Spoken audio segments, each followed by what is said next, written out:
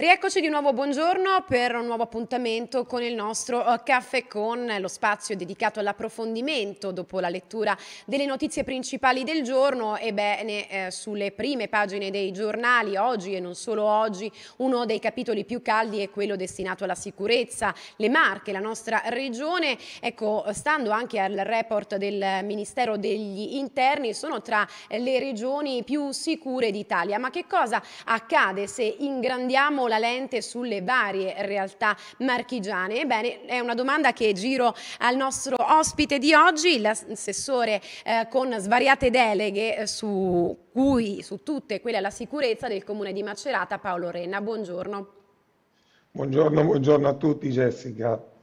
E allora vado a leggere le sue deleghe per una maggiore precisione. Polizia locale, sicurezza e legalità, protezione civile, ma anche decoro urbano, parchi pubblici, frazioni e quartieri. Insomma, ne abbiamo da dire. Però, Assessore, con lei vorrei appunto fare il punto, mi scusi il gioco di parole, sul capitolo legato alla sicurezza che so la vede molto impegnato tra le altre cose. Sì, la sicurezza per quanto riguarda la nostra città, l'impegno è praticamente costante Devo dire che eh, abbiamo anche un'ottima sinergia con tutte le forze dell'ordine e con la prefettura e questo fa sì che si lavora molto bene. Abbiamo strutturato la polizia locale per renderla più una polizia vicino al cittadino e al servizio del cittadino, non solo multe e quant'altro. E questo ci ha fatto la differenza. Noi quando ci siamo insediati eravamo 56esimi in Italia come eh, città a livello di sicurezza, oggi siamo nella top 10 eh, che cosa ha determinato questi buoni risultati? Sicuramente da quello che abbiamo osservato è stato il collegamento all'SCNTT di Napoli, che sarebbe il Servizio Nazionale Target Transiti, che fa la differenza, cioè ogni macchina che entra nel no nella nostra città in tempo reale emette un alert qualora quella macchina sia segnalata al database della Polizia di Stato. E questo permette evidentemente di prevenire. Assolutamente sì, le forze dell'ordine sono allertate in tempo reale qualora entri una macchina già segnalata o comunque iscritta allo SDI e questo fa sì che si riesce poi ad organizzare in maniera tempestiva eh, il fermo di quel mezzo.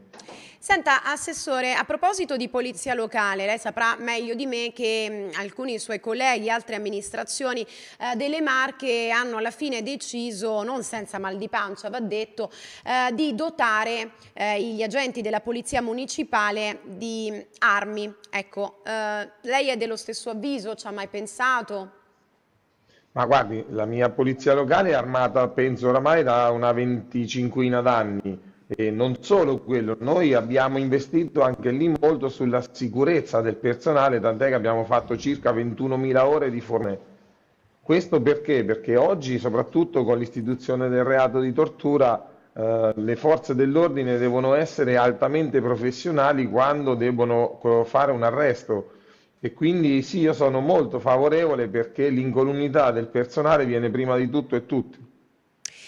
Benissimo, parlando sempre di sicurezza, eh, le spycam, le cosiddette telecamere di videosorveglianza nelle città, abbiamo visto, eh, lo vediamo, lo apprendiamo anche dai giornali, sono un apporto utile alle indagini, sempre parlando in termini di prevenzione. Eh, ci sono delle novità, una nuova dotazione per la sua città?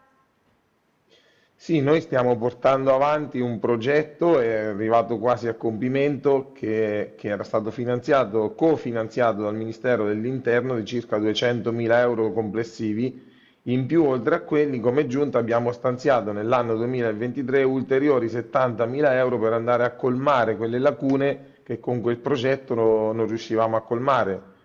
E posso tranquillamente assicurare che laddove abbiamo una videosorveglianza sicuramente c'è una sicurezza aggiuntiva e lo ha dimostrato anche sotto il periodo natalizio con la serie di furti che eh, i pre, gli autori di quei furti sono stati comunque intercettati e riconosciuti attraverso le nostre telecamere. Ma c'è un allarme furti in città o si tratta di eh, singoli episodi isolati? Ma guardi, ringraziando Dio, no. eh, no, Macerata in questo momento non ha un problema di furti come magari eh, le aveva in passato. Questo è dato sicuramente molto anche dalla videosorveglianza. Devo dire che eh, dove abbiamo le telecamere sicuramente, sicuramente c'è un presidio in più ma la differenza, e questo mi fa molto piacere, nella nostra città la fa anche la stretta collaborazione che hanno i cittadini con le istituzioni. Cioè, nel caso di specie? Cioè, noi abbiamo tante segnalazioni di piccoli eventi e riusciamo spesso a prevenire eh, possibili furti. Chiaro, eh, le 40 telecamere con un investimento più o meno intorno ai 200.000 euro sono arrivate? Sì, sono in fase di collaudo, sono state installate tutte e prossimamente arriveranno gli altri 70.000 euro di investimento, anche quelle a terra. E dove saranno posizionate? Allora, noi ci siamo concentrati nelle zone strategiche della città che non, era, che non erano videosorvegliate, eh, lo Sferisterio, la piazza dello Sferisterio che è piazza Nazario Sauro, i corsi Cavour e Cairoli, i giardini Diaz eh, e i, i giardini delle Giuseppine, il parco di Via Isonzo e poi altri punti strategici nel centro storico, Senta, a proposito di giardini, di parchi eh, verdi, lei ha citato poco fa eh, i giardini Diaz, domani in occasione del sesto anno dalla morte di Pamela eh, Mastropietro. Ci sarà una fiaccolata che partirà proprio dai eh, giardini Diaz, luogo in cui purtroppo Pamela il 29 marzo 2018 incontrò Innocent Osegale e insieme insomma, si diressero verso eh, casa di lui dove sappiamo la mattanza, l'orrore che si è consumato in via Spalato.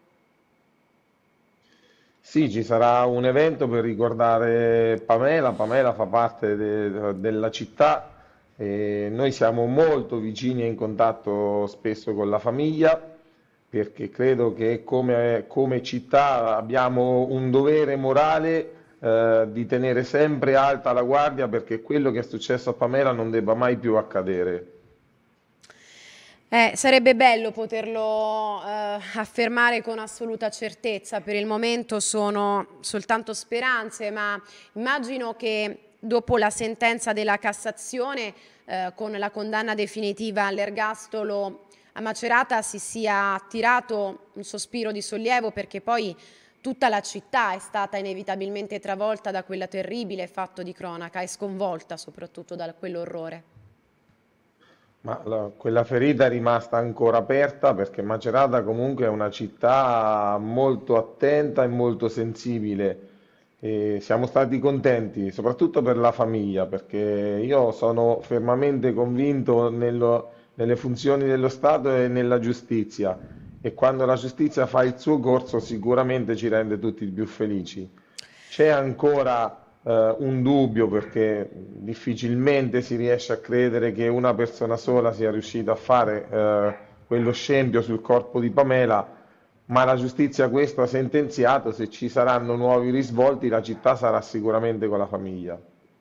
E beh, la famiglia infatti ne è convinta eh, e poi lo ascolteremo peraltro oggi perché la mamma di Pamela Mastropietro, Alessandra Verni, sarà ospite della nostra trasmissione insieme al suo legale, che peraltro è il fratello e zio di Pamela, Marco eh, Valerio eh, Verni. Ci spiegheranno perché a loro dire ci sono degli elementi peraltro compresi negli atti a disposizione della Procura, che fanno pensare ecco, ci siano possibili ulteriori persone coinvolte. È chiaro che su questo la Procura si è espressa con eh, delle archiviazioni di altre posizioni, ma ecco, se è bene fare giustizia ed andare in fondo fino eh, alla fine, è giusto insomma, che mh, eventualmente poi questi ulteriori elementi vengano presi in considerazione.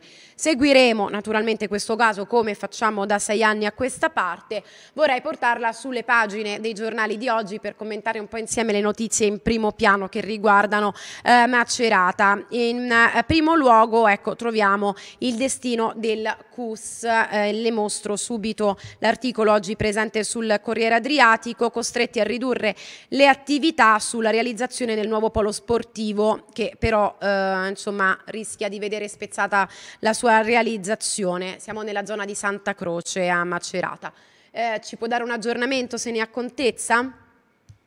Sì, allora per quanto riguarda il CUS, per quello di cui sono a conoscenza io, so che stanno andando avanti spediti i lavori, ma sono lavori abbastanza importanti, sono posizionati nella zona di Santa Croce e poi eh, delocalizzeranno tutte le attività del CUS dalla zona di Via Valerio dove attualmente ha su a Santa Croce, mentre nella zona di Via Valerio noi con il progetto Pinqua è un progetto di riqualificazione urbana, andremo a trasformare quell'area che una volta trasferito il CUS sarebbe rimasta praticamente eh, una zona in abbandono ad una zona in cui andremo a costruire delle, delle nuove case popolari interamente finanziate da questo progetto.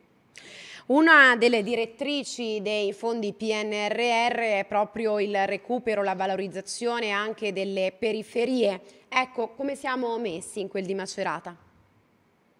Allora, a Macerata noi sulle periferie, eh, io ho la delega alle frazioni, abbiamo avuto un'attenzione molto particolare. Per quanto riguarda la frazione di Sforza Costa ci siamo concentrati sulla sicurezza idrogeologica, stiamo lavorando molto in, eh, in, quel, in quella direzione, anche nel recupero di zone abbandonate. Per quanto riguarda Piediripa abbiamo pensato eh, a recuperare alcuni parchi pubblici che erano in stato di abbandono e abbiamo lì vinto, grazie al bando sport e periferie, eh, una costruzione di una palestra polifunzionale che sta andando avanti in maniera anche spedita.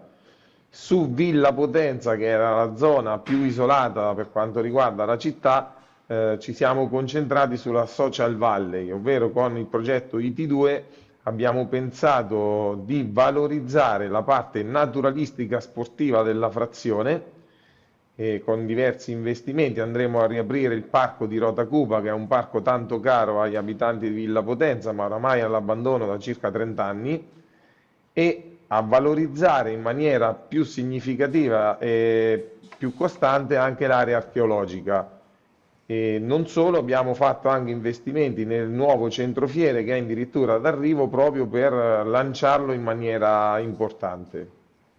La porto ora sulle pagine del resto del Carlino, si parla di viabilità, quindi non proprio dire, la sua delega specifica, però c'è stato un incontro tra l'amministrazione e i cittadini per la rivoluzione della viabilità eh, alla eh, pace. Sono arrivate anche le proposte eh, dei residenti che chiedono insomma, di vagliare un'alternativa per ridurre il traffico pesante. A Macerata c'è un problema di traffico, di caos, viabilità?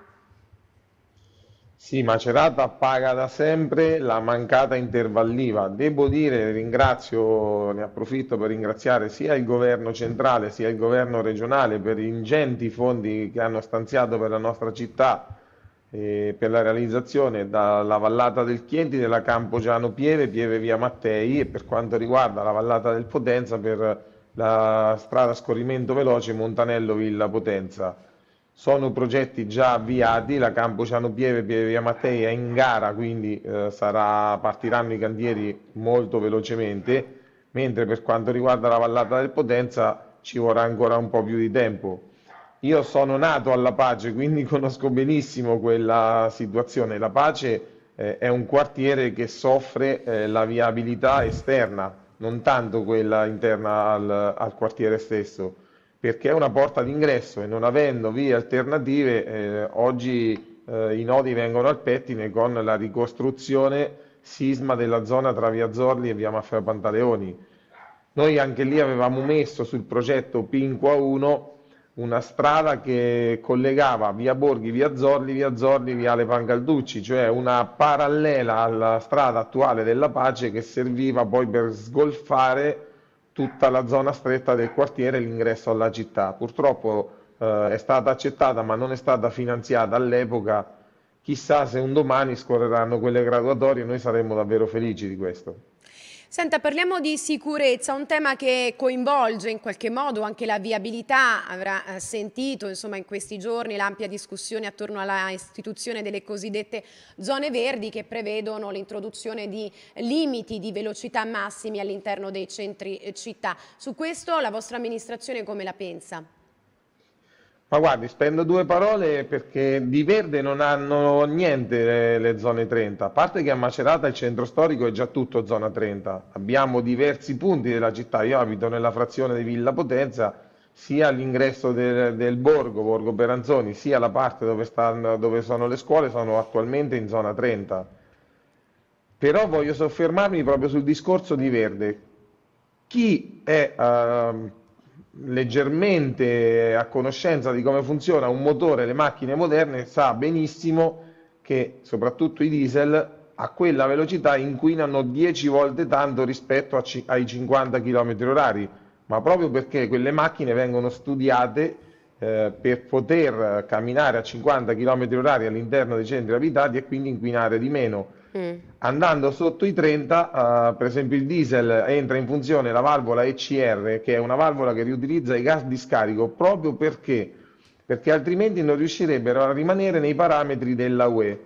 Eh, tant'è che quando uno va a fare la revisione, se ci fa caso, la macchina viene alzata di regime eh, dei giri del motore proprio per rientrare nei parametri, perché eh, altrimenti a bassi regimi la macchina inquina molto di più. Quindi chi parla di eh, vie verdi dice una, gra una grande castroneria. L'altro discorso è eh, per quanto riguarda la sicurezza. Io oh, che vado spesso in macchina e ho molti chilometri alle spalle, eh, non credo che, siano, che, sia la zona 30 a determinare eh, una, un abbassamento degli incidenti. Le statistiche dicono infatti che non è così. Ma perché dico questo? Perché uno sarebbe sempre, eh, rimarrebbe spesso concentrato di più a guardare il contachilometri piuttosto che la strada. Mentre nei 50 orari le macchine vanno via lisce, per quanto riguarda i 30 bisogna avere un'attenzione molto molto maggiore in realtà la maggior parte degli incidenti avvengono proprio per distrazione uh-huh. e bene ha fatto secondo me il governo a eh, inasprire le pene per quanto riguarda l'utilizzo del cellulare alla guida che poi quando andiamo a vedere la maggior parte delle volte soprattutto in città è dovuto a quello e non all'alta velocità. Senta, eh, per il 2024 che cosa dovremmo aspettarci? A cosa sta lavorando? Allora, per il 2024 sarà un anno ricco di cantierizzazioni perché noi metteremo a terra il progetto Go Green che è la riqualificazione dei giardini delle Vergini, eh, giardini Geppino Micheletti, i giardini di Iaz, eh, il parco di Fonte Scodella e il parco del Sasso d'Italia. Partiranno i lavori delle ciclopedonali eh, della città di Macerata, un anello di circa 40-70 km, che andrà a valorizzare sia le parti fluviali del Chienti e del Potenza, ma sia i collegamenti tra i quartieri. E eh, per ultimo, eh, ma non, non sarà proprio l'ultimo, partiranno i cantieri delle scuole e soprattutto Uh, finiremo di sistemare anche l'asfaltatura di via Mattei, che attualmente è la strada principale della città. Abbiamo già deliberato in giunta e in prima, tarda primavera, inizio estate, e così mi dice il collega dei lavori pubblici, partiranno i lavori anche lì. Bene, Assessore, noi eh, sì, ci avviciniamo alla conclusione. Vorrei però cogliere un suo pensiero, visto che è notizia di questi giorni, dopo il terribile incidente avvenuto eh, venerdì scorso che ha coinvolto il sindaco di Matelica all'esito della eh, cerimonia di inaugurazione del eh, nuovo ufficio speciale per la ricostruzione. Massimo eh, Baldini è stato operato e si trova ricoverato nel reparto di rianimazione del Torrette di Ancona dopo un intervento di otto lunghe eh, ore, visto che insomma tutta la politica, a prescindere, giustamente si fa così in questi casi, eh, dall'appartenenza politica ha espresso vicinanza, se vuole, insomma, do anche lei modo di poter esprimere un pensiero. Guardi, la ringrazio anche perché Massimo è un caro amico, io sono tutti i giorni in contatto con l'amministrazione di Matelica e la nostra vicinanza è totale. Speriamo che Massimo, che è un grande combattente, vinca anche questa battaglia. Noi gli siamo vicini, siamo vicini a lui, alla famiglia e a tutta l'amministrazione e la cittadinanza di Materica, quindi forza Massimo, non mollare. E ci auguriamo davvero anche noi lo stesso e tra poco sentiremo un aggiornamento proprio sulle condizioni di Massimo Baldini. Per il momento la ringrazio, eh, grazie all'assessore Paolo Renna, eh, assessore con delega alla Polizia Locale, Sicurezza e Legalità Verde, Parchi Pubblici e Frazioni. Spero di non aver tralasciato niente del Comune di Macerata. Le auguriamo buon lavoro e a risentirci presto, Assessore. Grazie a voi, complimenti per la trasmissione e buon lavoro anche a voi. Grazie davvero, buona giornata. Noi amici ci fermiamo qui per una breve pausa, vi ricordo che alle 9 torneremo con una nuova puntata di Vera Mattina, anche oggi spazio alla cronaca, agli ultimi aggiornamenti, avremo la mamma di Pamela Mastropietro e ancora tanti altri casi, le storie, i nostri inviati che ci faranno il punto dai territori. Dunque vi invito a seguirci a tra poco.